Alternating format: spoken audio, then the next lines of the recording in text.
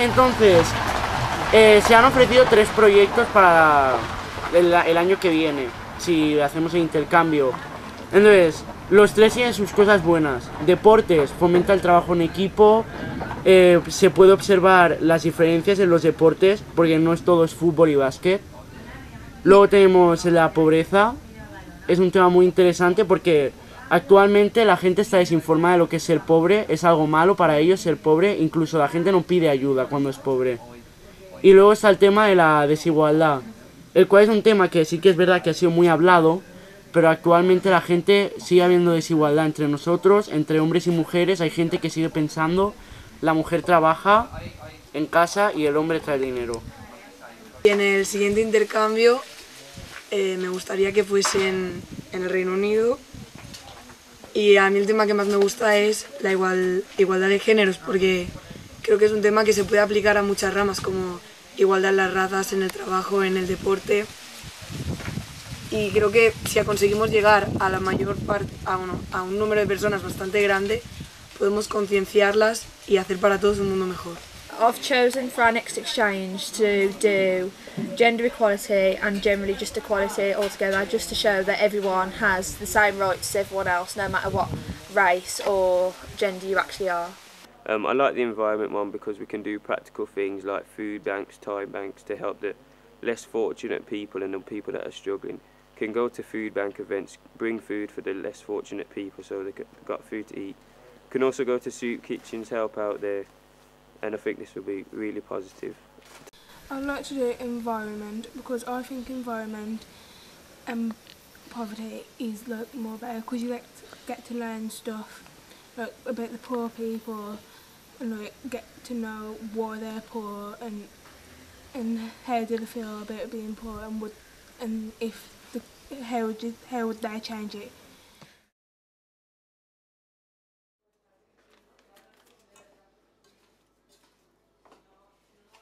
The wood. Hey. The wood. Yeah. We're setting fire. Setting fire?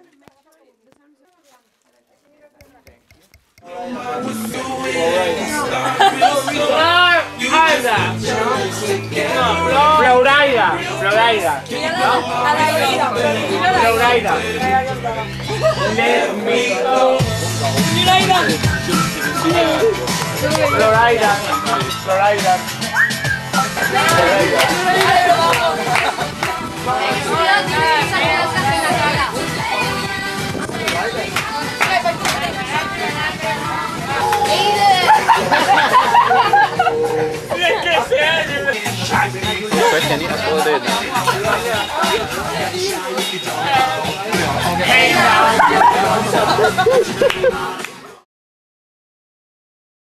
This is like a certificate for your attendance on the program on Youth Mediators. And it's also used, we have them, um, they're international, all over the world, they have the youth passes, which recognises the work that you've done in Youth in Action.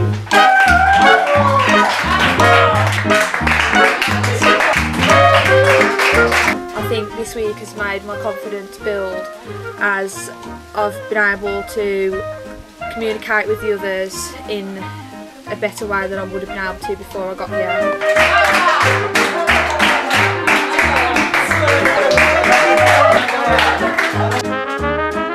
What I've enjoyed a lot was um, the, the games and the workshops.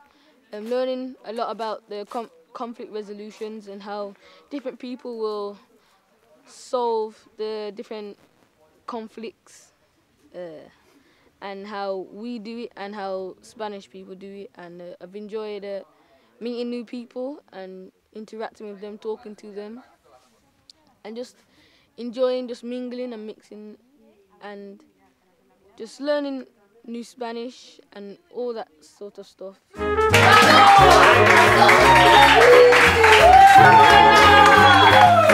ha sido una experiencia que no me se me va a olvidar porque son iguales que nosotros, pero tienen diferente idioma, diferentes formas de, de cocinar, por ejemplo, de hacer las cosas, diferentes culturas y en el fondo mm, tenemos muchas cosas en común, pero son diferentes maneras de actuar. Entonces ha costado un poco con el idioma también, y a mí sobre todo más, que no lo entiendo mucho, pero intentaré, intentaré saber más para el año que viene, para poder comunicarme con ellos y, y al menos explicarles que me ha encantado estar con ellos, que ha sido, que es inolvidable y que me lo he pasado realmente muy bien porque he ellos han aprendido de nosotros, pero yo también he aprendido de ellos.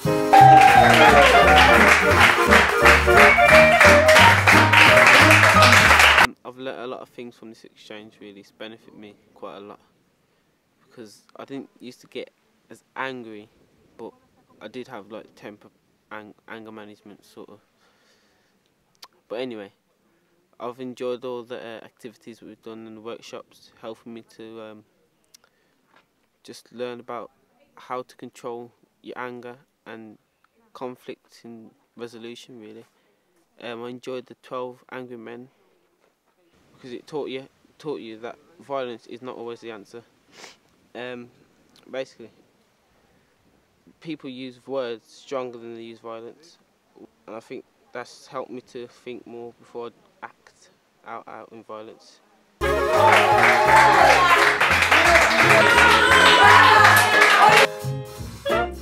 En este encuentro he aprendido de que mediar con las palabras es siempre mejor que acabar con peleas y cosas de eso, porque siempre lleva consecuencias el acabar una pelea. Pero si acabas con una mediación, cada uno se puede ir a su casa bien, con la conciencia tranquila y relajado.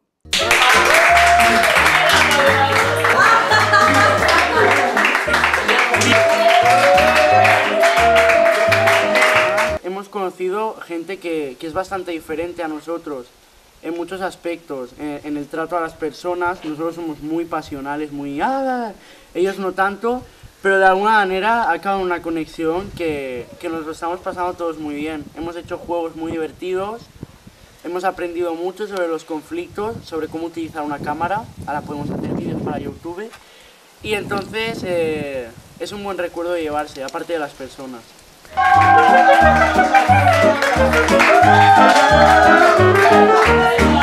Um, before this exchange, I did find it difficult to deal with um, conflict. I used other means, by just for example, maybe violence, not to uh, such a bad extent, but I did used to use violence more, say, than words, or just get angry and get more aggressive. But this exchange has learnt me that violence can't solve everything, and most of the time you should use words. Specifically, when I watched the 12 Angry Men film, um, I, re- I recognised that words can solve disputes in better ways and you can get more respect from people by using words.